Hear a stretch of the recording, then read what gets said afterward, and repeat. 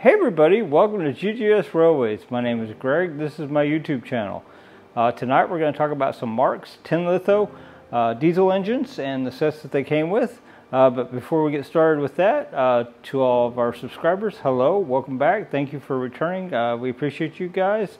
Uh, we appreciate you watching our videos, thumbs ups, the uh, comments, the suggestions. Uh, you guys are the lifeblood of this uh, channel, and we couldn't do it without you, so thank you very, very much.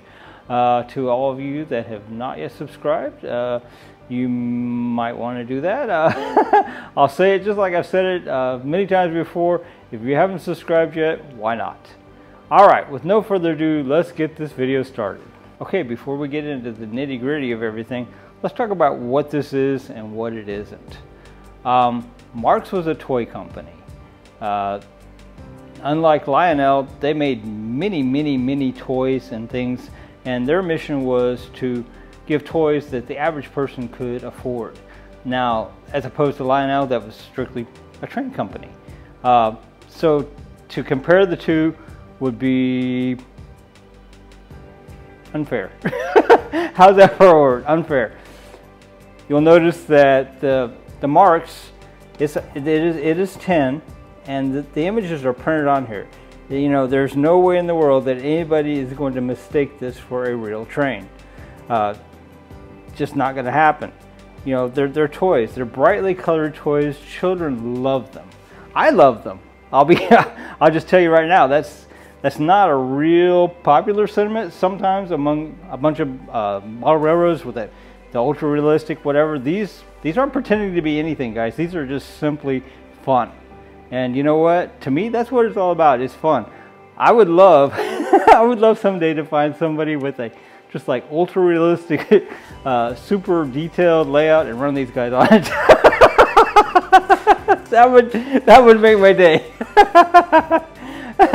so all right, let's get this camera zoomed in. We'll take a little closer look at what we got, and uh, we'll go from there. Okay, so we have the Marx tin litho diesel sets here. And this is basically what you would get in each set. Um, first off, we have the Baltimore and Ohio, the number 62, that's this guy here. And then this orange guy is a 6000 Southern Pacific set. And I'll just come clean before any of my Marx guys bust me on it. uh, while the uh, caboose that came with the set would have been the same size, the 7-inch cars. This would not have been the caboose that came with this set. It would have been a Southern caboose, not nickel plate. So, all right, I came clean. How about that? So, okay, so these guys are engineered in a way that to me is pretty ingenious, and I'm going to show you that here in just a moment. Uh, I need to get a get a towel laid down here. Uh, one thing about these tin litho is you don't want to do anything to scratch them because once you scratch it, well, as you can see, it's scratched and there's not a lot you can do about it. Uh, it's, the image is lithographed on there and you are stuck with that scratch forever. So, all right. So I'm to disconnect this guy just for sakes of showing you. And I'm to move this guy over a little bit. So you'll notice that this has a screw on the top. And I'm telling you, this, this is ingenious. This is this is typical of Marx uh, ingenious engineering that for, for, making a toy that everybody can afford, this, this is amazing. So, all right.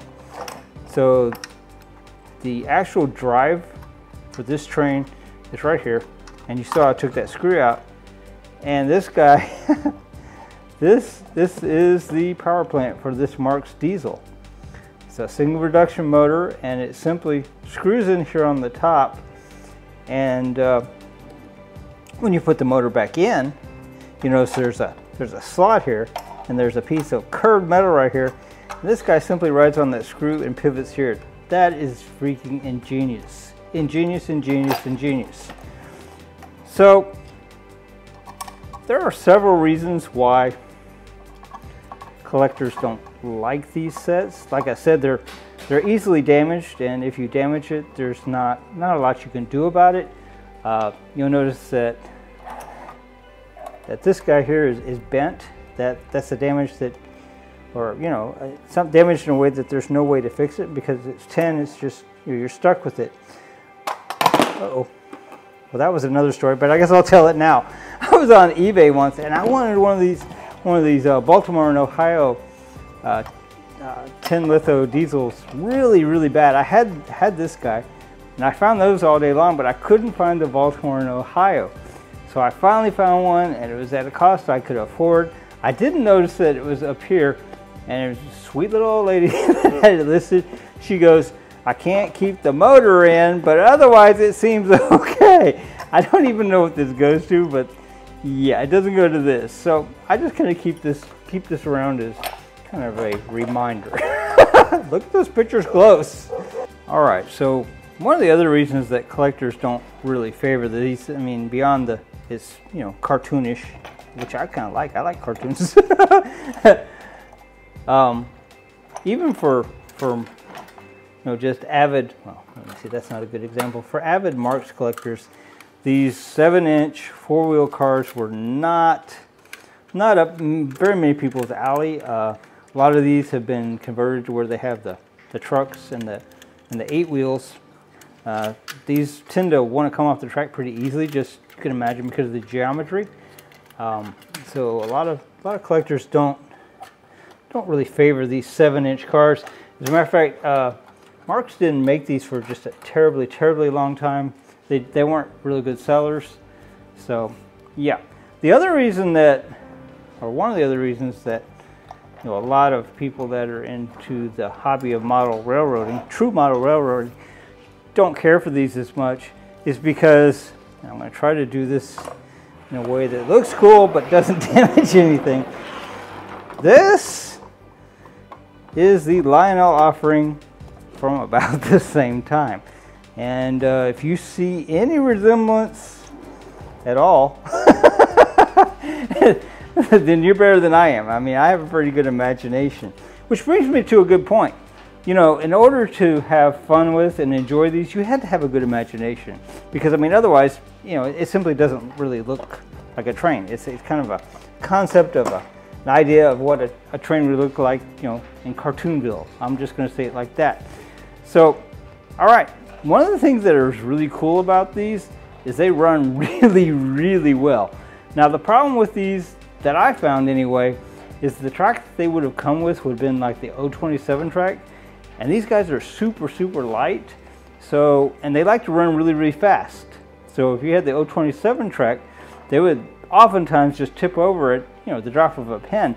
Now I have the wider radius track in there and these guys are freaking awesome on that track and I'll show you here in a minute. Let's go do it. Okay, so uh, I guess the first first thing we'll do is we're going to run the uh, Baltimore and Ohio number uh, 62. Uh, it looks beautiful on the track. That blue is absolutely stunning. Uh, once again, I lusted after this set for quite a while before I could find one that, that I could fit into my price range. And uh, anyway, this is the the set more or less that it would have come with. Um, if these aren't the exact cars, well, just pardon me on that. but this this is basically what you would have gotten. Uh, you would have gotten two two freight cars and a caboose along with the with the uh, A and B unit for the for the diesel. So, and this isn't exactly the right caboose. Uh, it's got the wrong the wrong uh, couplers, but it is it is a representation of what it would have come with, and it looks identical. So once again, these are the the uh, pardon me, these are the seven-inch cars, and once again, they were not really wildly popular because they tend to not want to stay on the track very well in a tight curve. And once again, these kind of came with the well, they did come with the 027 track, so that was a relatively tight curve. This is a super wide radius, and here in a minute I'll show you that this train runs really, really well on this track. Uh, I guess uh, the only thing left to do is to run it, right? let's do it. All right, so let's get this started and see how it runs around this track. Now, disclaimer, this train has no sounds, no special features. It does have a headlight. Uh, other than that, it's pretty plain Jane.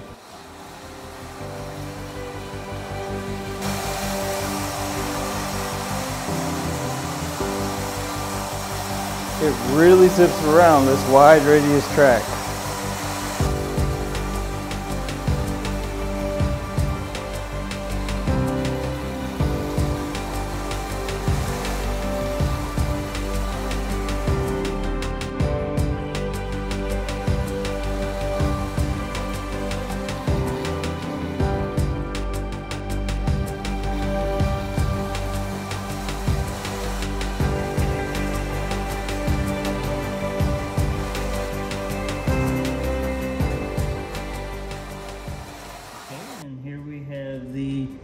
Southern 6000 set. Um, very much like the other set. Uh, it does not have a matching caboose, however.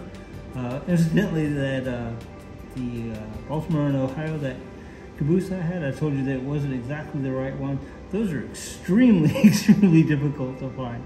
So anyway, all right. So this set would have come with basically the same, the same, uh, same freight cars but of course the caboose is different. Now I've had problems with this particular uh, boxcar right here and we may end up switching out for the other one. This one does not roll very well. It does the the uh, typical, uh, the reason that people didn't like the 7 inch cars, it likes to come off the track. Even on this wide radius, it likes to come off the track. And then last but not least, uh, once again, the the uh, caboose set is not correct.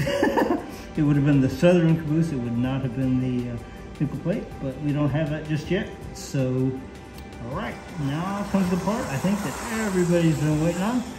Let's get this train going and let's just see.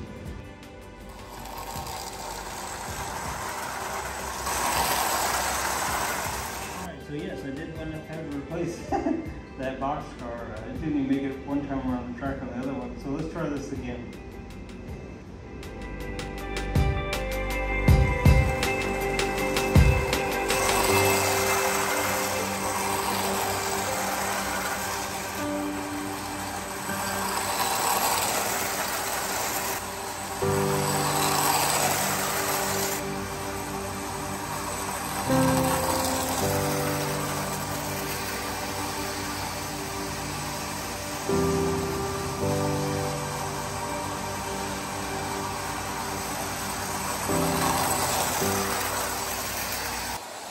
Okay everybody, this has been the Marx 6000 tin litho diesel uh, from the 1950s. Uh, I think regardless of uh, how you might think of it, I think we can all agree that it looks really, really awesome running around this track.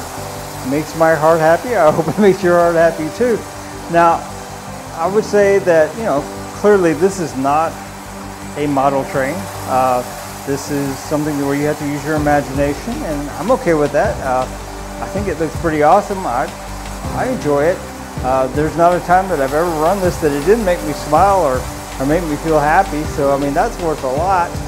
So, all right, guys, I think I'm going to call this it for this video. Um, if you liked the video, please do give it a thumbs up. That's how we know you guys liked it.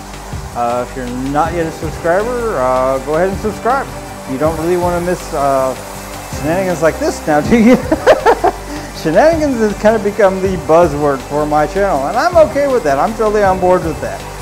All right, with no further ado, I'm gonna be quiet now. I'm gonna let this train run a few more laps around the track, and then we're gonna call this it. GGS Railways out.